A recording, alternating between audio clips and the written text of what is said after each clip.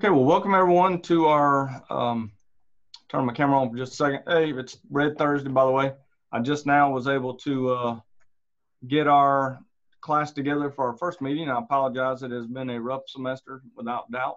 Um, but I'm glad to be able to get together for this Internet of Things and got some good news is, and one of them is um, this afternoon, as soon as class is over here, I will be creating the Connecting Things course. So you've been in the introduction uh, to the Internet of Things, the IoT uh, intro class.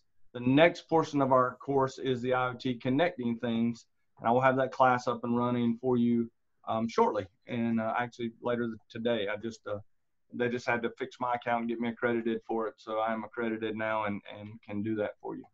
Um, couple things of the reasons why I even taught this course and one of the reasons I thought about and wanted to, to have this course. The biggest one is where do we go from here now that we only have three courses in the CCNA versus four courses? And there's there's a lot of different ways to look at this, and one of them obviously is to to use this Internet of Things um, coursework as a fourth course. So in other words, take the Internet Introduction to Internet of Things and take the connecting things course and maybe add in some other little items I'm going to share with you today um, to give us a fourth course that would be an Internet of Things course. Now, that is one option. I will tell you that recently we have been told and have been informed that the CCNP Enterprise Core class is going to probably be out in early July.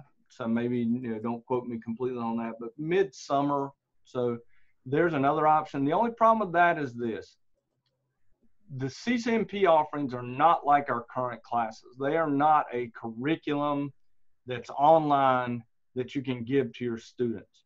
Our CCNP offerings are you buy the CCNP book, the book is the curriculum, and then there are labs and some quizzes and tests to go with that. So a lot of people don't want to use the CCNP simply because it's not a fully fleshed out item. The other item coming down the pipe that could become your fourth class is CCNA DevNet. Now, we do not have any um, actual time frame for when this will be out. Um, obviously, the exam is already out, so um, I would say that you know in the next. Again, do not quote me on this because I cannot say for certain, but I would say midsummer. I, I expect to see the CCNA DevNet um, course come out uh, and that would be a, another option. So really kind of what we're looking at here. Um, and there's a fourth option, and this is one that many people are considering, especially in the state of North Carolina. Um, and I don't know why that did that, which it shouldn't have, but um, oh, come on now.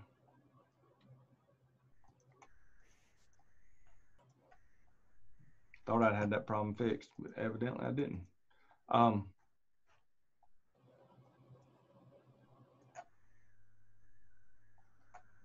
my monitor is not behaving.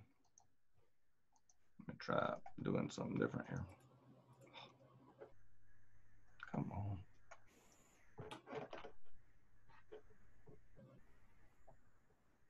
So a couple options. Again, I want to just kind of throw these out here just so we have them. Um, one would be, you know, IoT fundamentals and IoT connecting things. And I'm gonna I'm gonna put in here. Um, also, I've got this this this kit that I've found. Actually, Ken Kwame from uh, North Dakota helped me told me about it. It's a Freenove kit that you can purchase, and I'm gonna show it to you here in just a minute. That gives you uh, like 50 something extra labs that can be done um, that are Arduino based labs. Um, um, so kind of that's one option for your fourth class. We've got the CCNP Enterprise Core. Again, the problem is this is a cut down class. It's not a full class. You've got CCNA DevNet, which is going to be a full class. That will be a full class, and it will be out sometime, like I said, I'd say midsummer.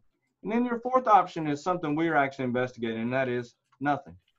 Now, I know that sounds crazy, but uh, hear me out on this. In the state of North Carolina, many of our two-year degree uh, programs, especially in networking, have ballooned up to about 70-hour um, curriculums. In other words, 70 hours worth of courses that you need to complete over two years. If you add in any developmental classes at all for a student, it is nearly impossible for a student to complete a two-year degree program in two years. So there's been some discussion that we will simply drop the fourth class completely.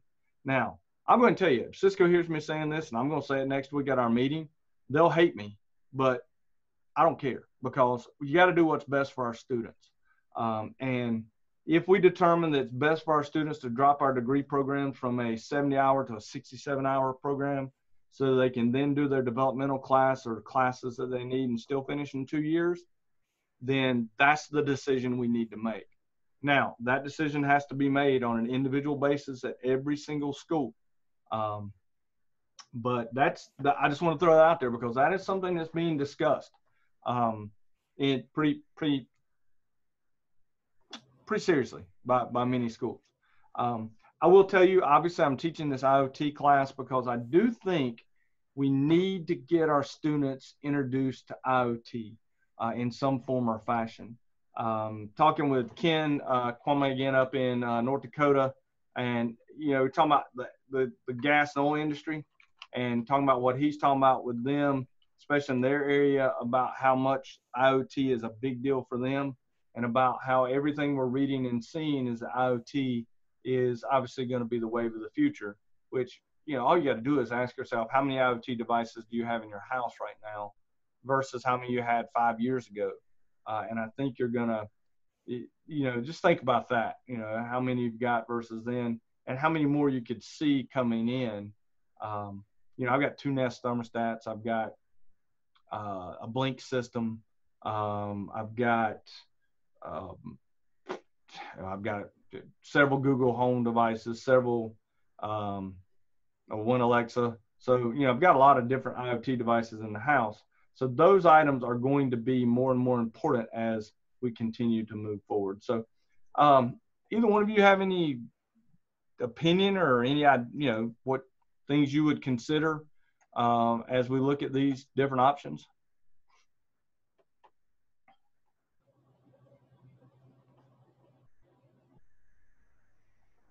I would say, okay, no, no opinions.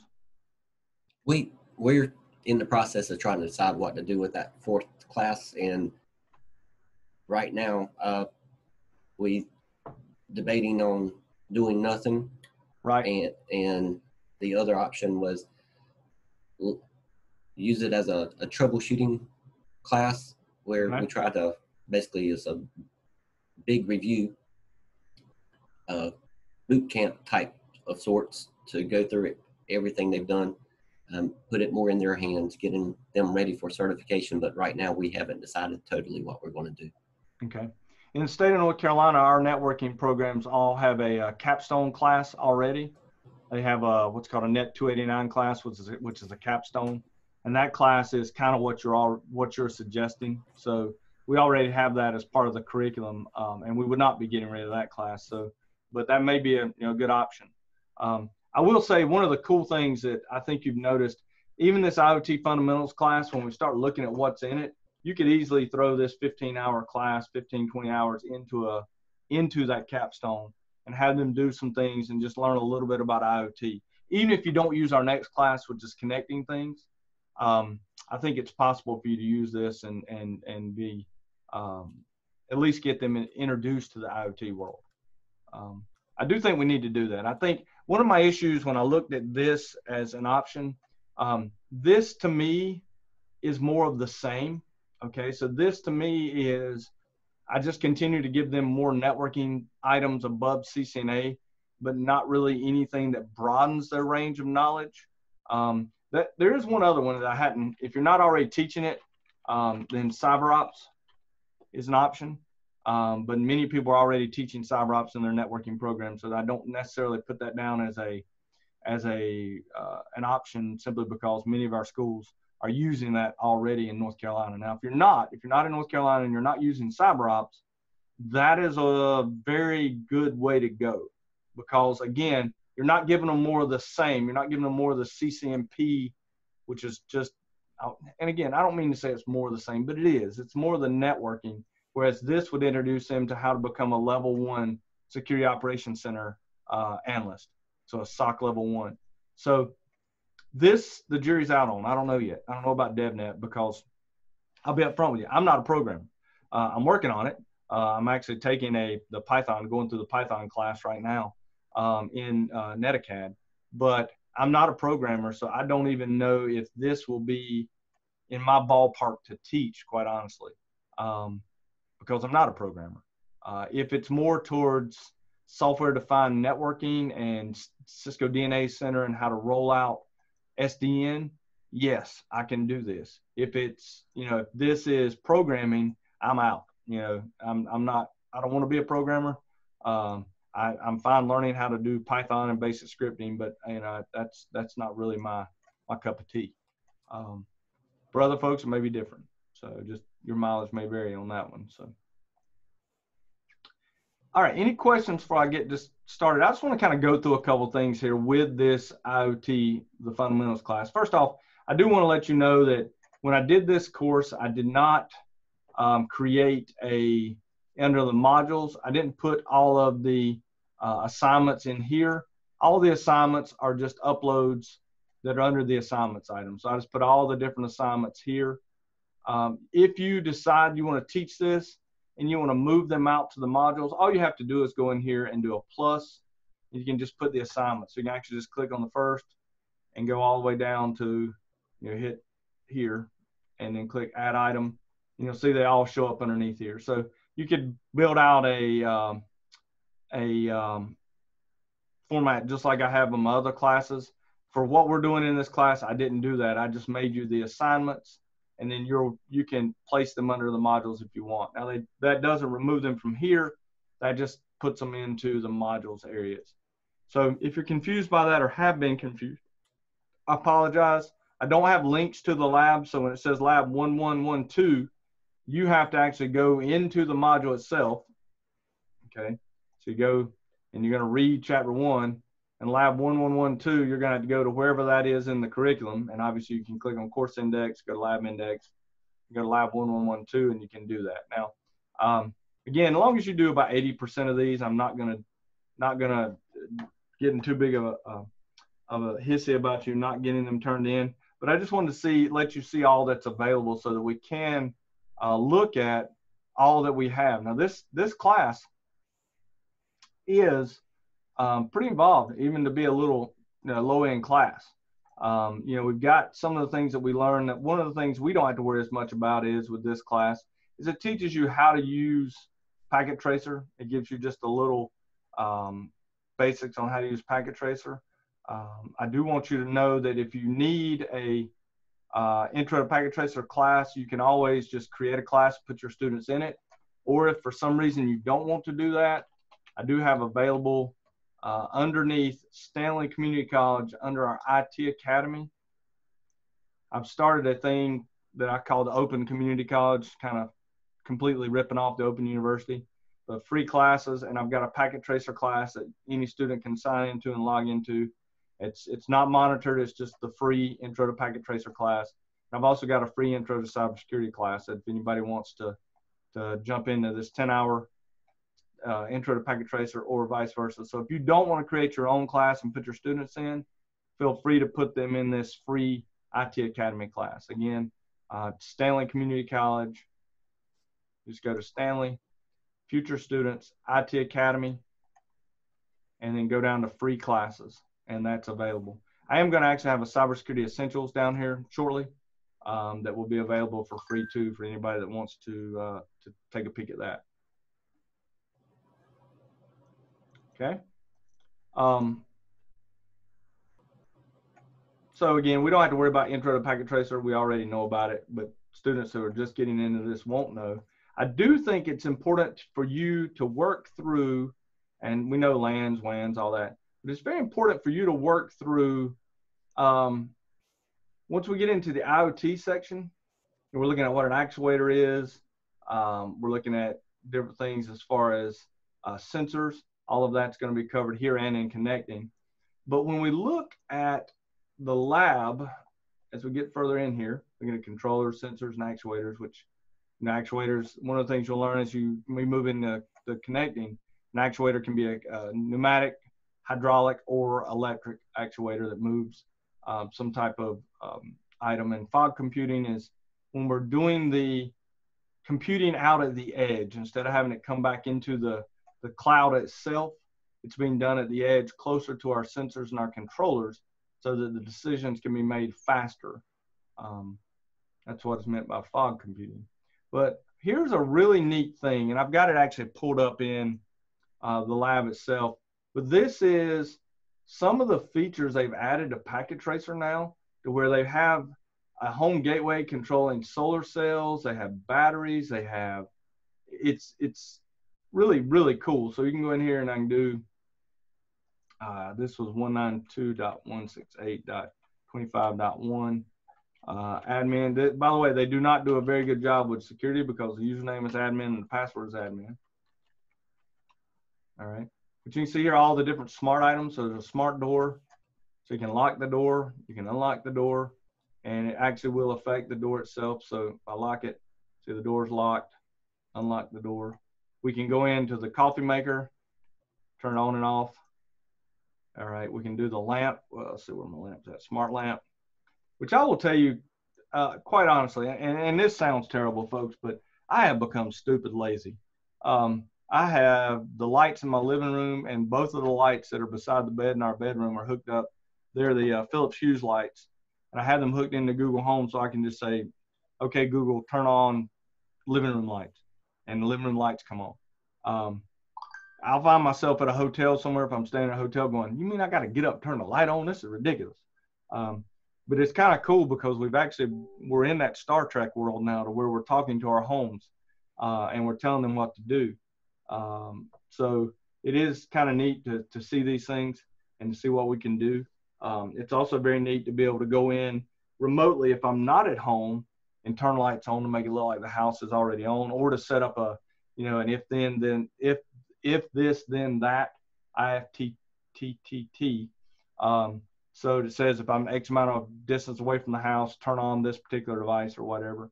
Um, now, having said all that, it's also very scary because I do know that that means my house is a target. Um, at the same time, um, we all carry a cell phone with us, and they're listening to everything we do. And believe it or not, they're track. Well, we all know they're tracking everything we do. Um, so we're giving up some of the privacy for convenience, and I think that's probably a uh, probably a good thing too sorry, John, I just saw you talk about maybe doing for your fourth class, the RHCE class, or going to Ansible. Um, that that's possibility. That's that's something too. You could add another Linux class. You're not gonna probably not gonna go wrong teaching people more Linux. That's for sure. Um, this is neat in Packet Tracer because you've got all these new added features. You've also got, as we move forward, I'll, uh, I'll open up another Packet Tracer and we can look at how to do uh, how to do some um, items with a, a onboard. Um, I got to go in here and oop, oop, sorry. Onboard, uh, what's an basically an Arduino. So that's what this gets into, showing you all the different things that you can do. Um, know, we have we have packet tracer. We're adding. Uh, this is that the packet tracer. You add in the uh, smart um, sprinkler. Which think about that. If you can set up a sprinkler that has a sensor on it that looks at the moisture level of the soil and then will only sprinkle when it's really needed um, and the amount of water that could save. Or we'll look at the temperature and we'll not turn the sprinklers on if it's a certain temperature so that you don't have as much um, as much of the uh, the water you're actually putting in the atmosphere, you know, evaporating evaporating. So all kinds of different things here that are really neat looking at that. Um, as we looked at this, one of the things I will tell you is that um, you will probably want to learn that rectangles represent actions and these uh, diamonds represent decision points in a flow chart. I just say I've seen that somewhere um, that you may want to know about down the road. Um, the other thing that we were looking at here, looking at variables, global variables, and looking at basic programming, they're just letting you learn some of the basics of programming so that when you see some of the Blockly programs are going to have inside of the, uh, the class, you're not really kind of getting uh, sideswiped by it.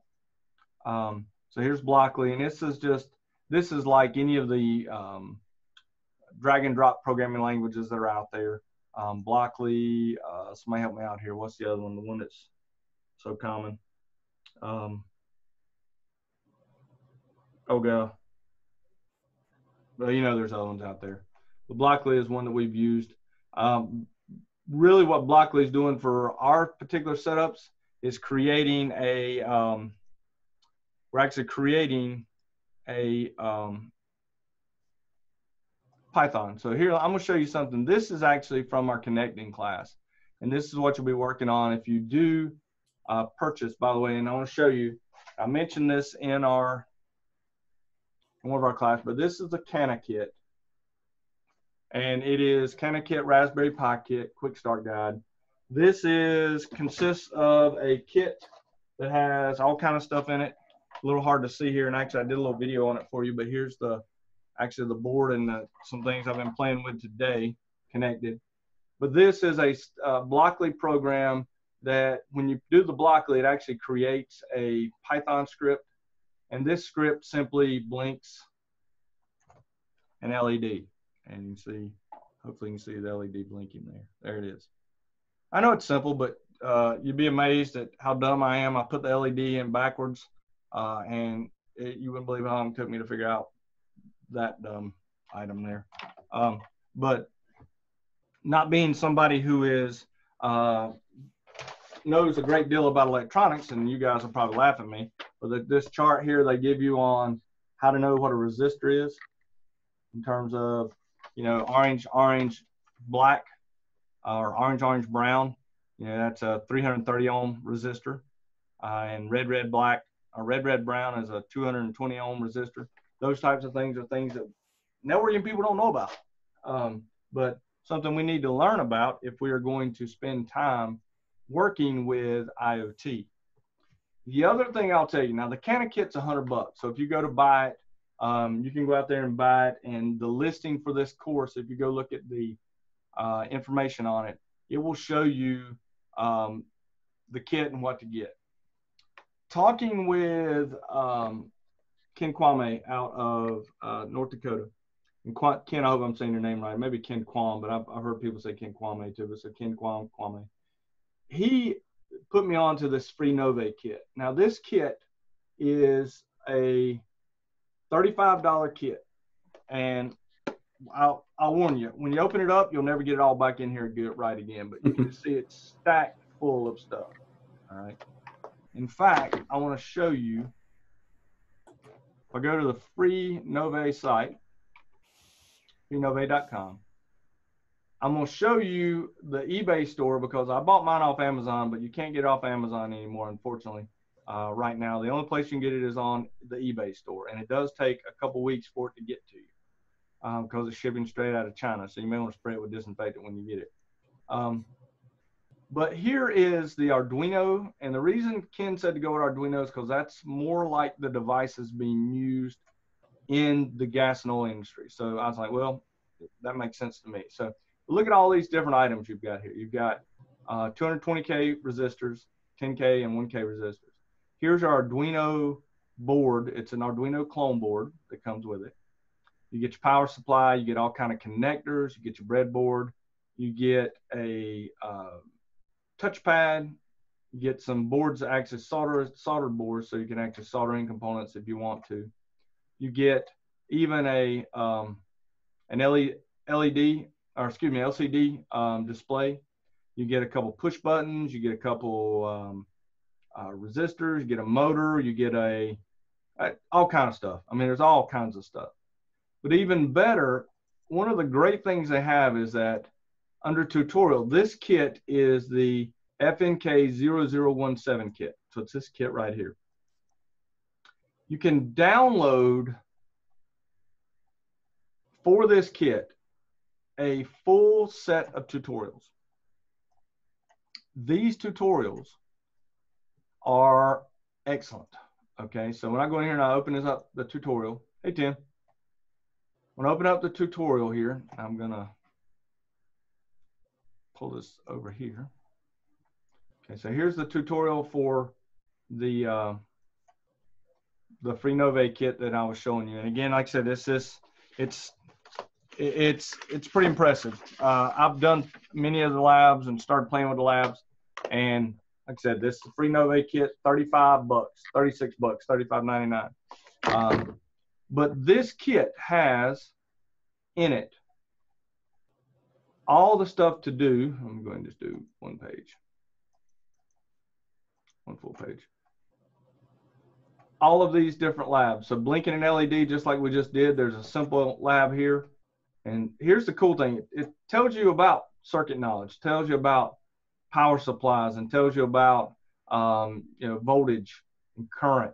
Um, it talks about series and parallel.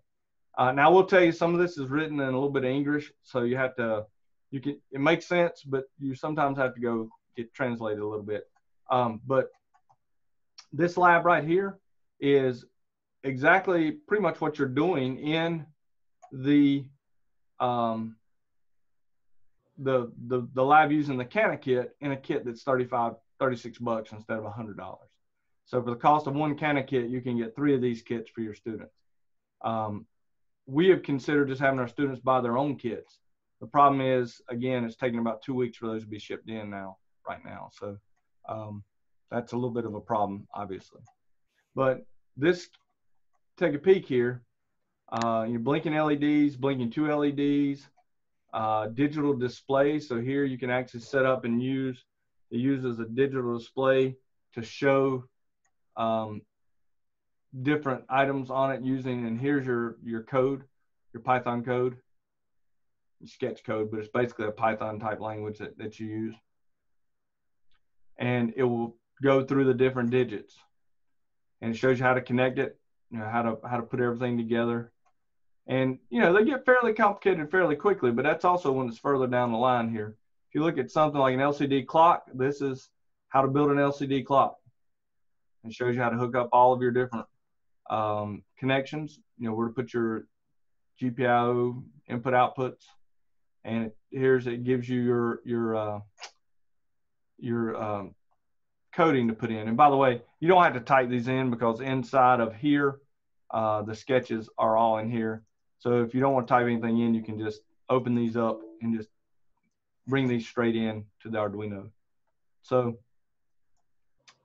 we've got in our in our class and in the connecting things, you've got this um,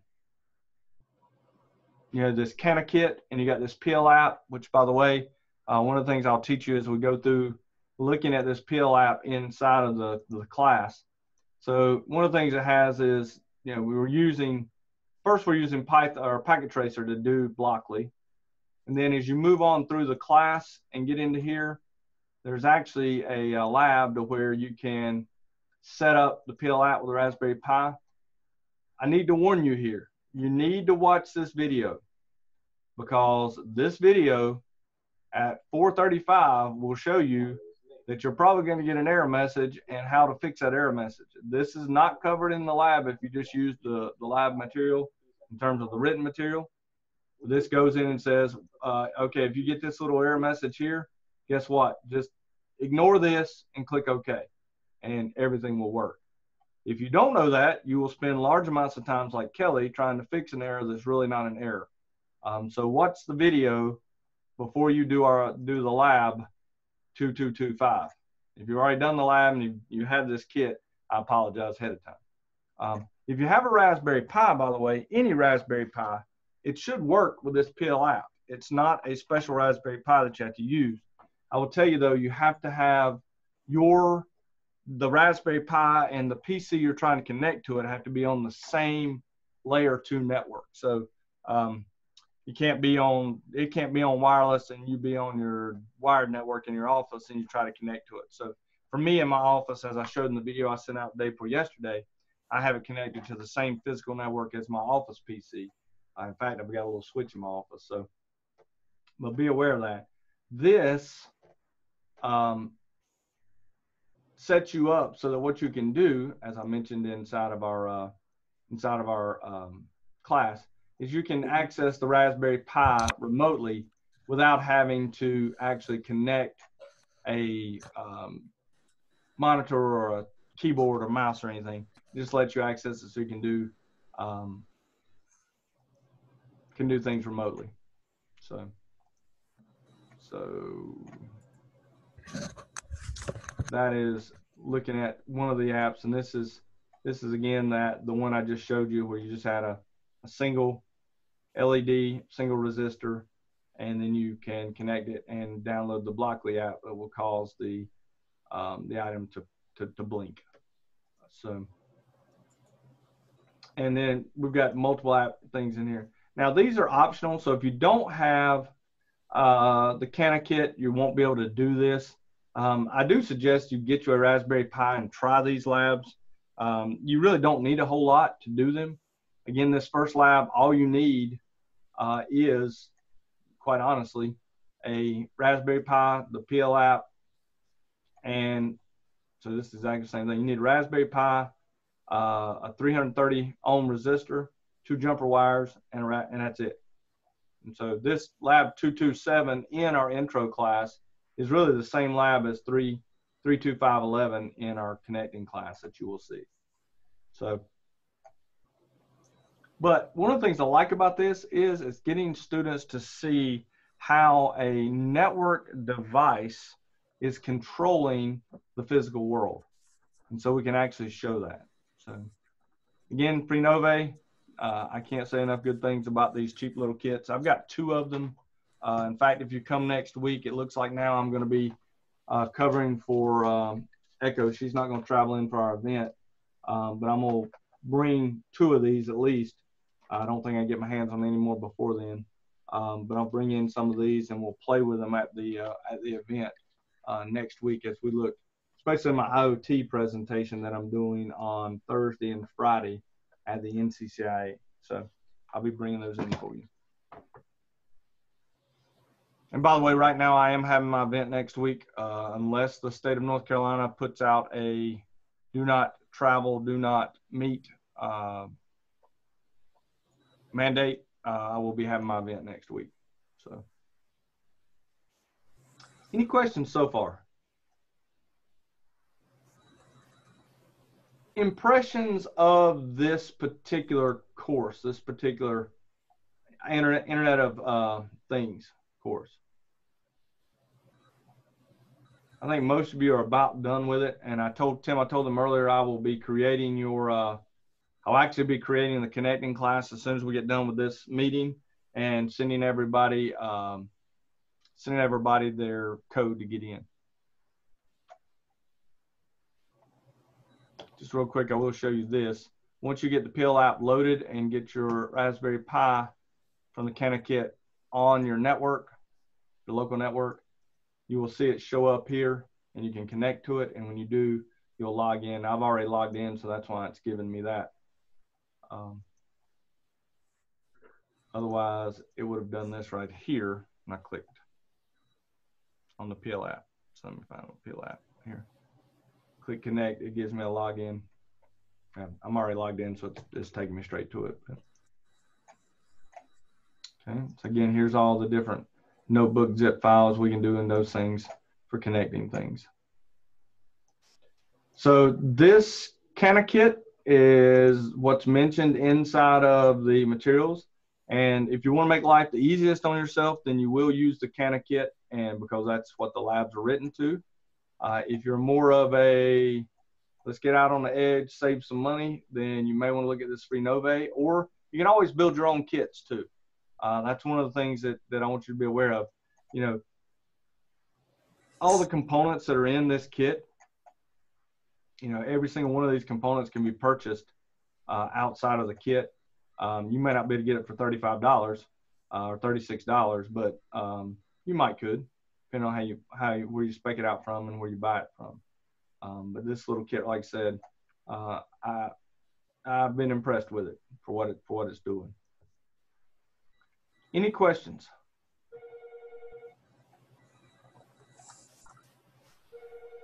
Sorry, my.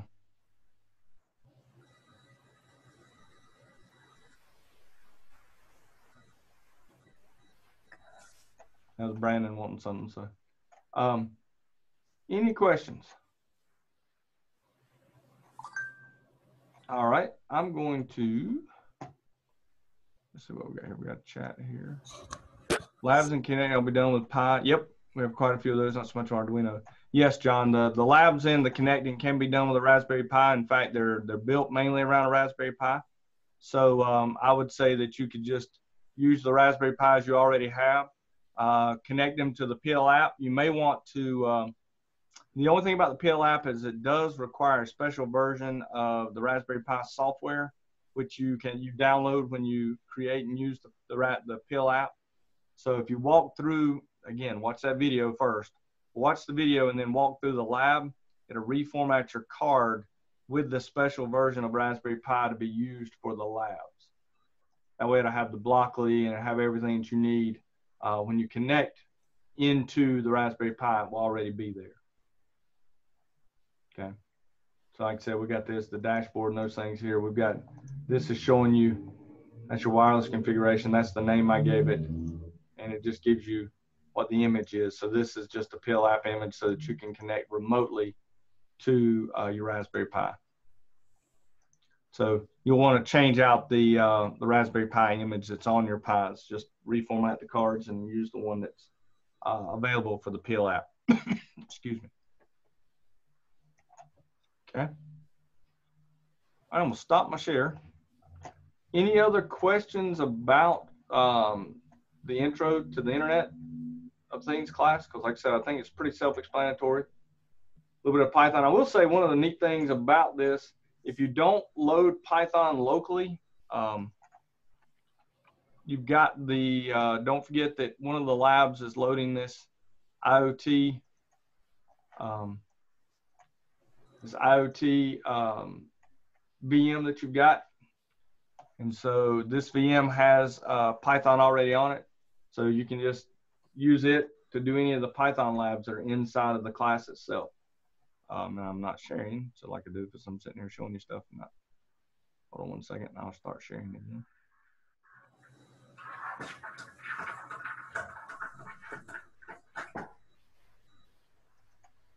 So here I am booting up the CentOS machine that is part of the one of the labs that have you load VirtualBox and have you load this. So this will keep you from having to load in your machines in your um, uh, lab the um, get here Python it's already there.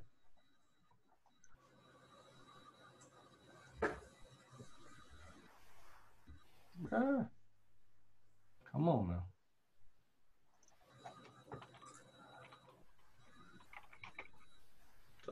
You got Python 275 in here. So not the greatest version, but it is a version of Python that you can work with. Um, so it is available and that makes makes it a little bit easier on you. Or you can just do what I've done, which is just go and download Python. I'm gonna get out of this machine here. Hold on. There. Nope.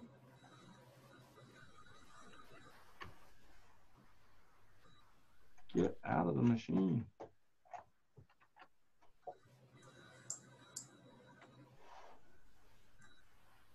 I'll get out of it. I'll shut it down.